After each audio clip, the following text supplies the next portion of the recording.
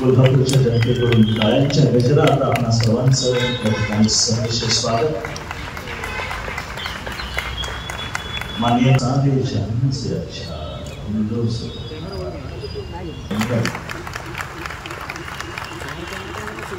अच्छा